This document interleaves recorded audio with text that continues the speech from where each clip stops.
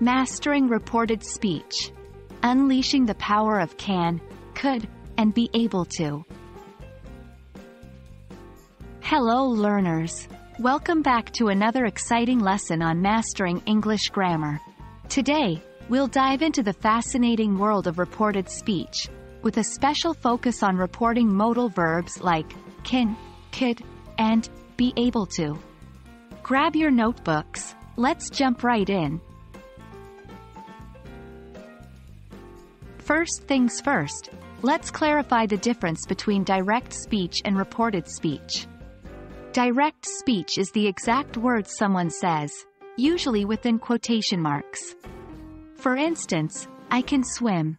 Reported speech, on the other hand, is when we tell someone else what another person said. So, I can swim, in reported speech becomes, he said he could swim. It's crucial to remember that when we change from direct to reported speech, the verb tense often changes.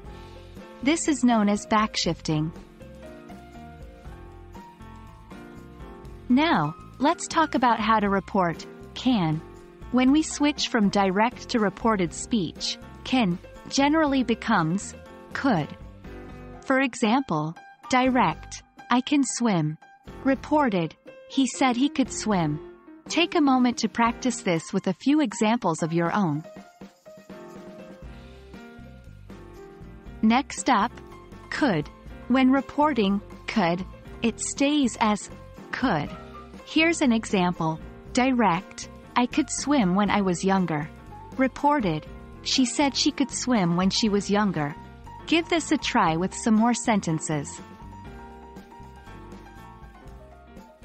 Lastly, We'll look at reporting, be able to.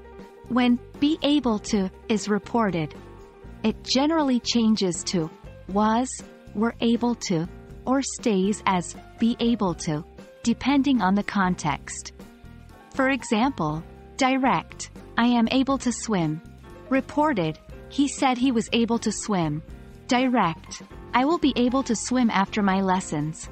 Reported, she said she would be able to swim after her lessons. Now, it's your turn to convert some, be able to, sentences from direct to reported speech. And there you have it. You're now equipped with the knowledge to report, can, could, and be able to. Keep practicing this, and you'll soon master the art of transforming direct speech into reported speech. We hope this video has been helpful, and we can't wait to see you in the next one where we'll tackle more English grammar topics. Happy learning!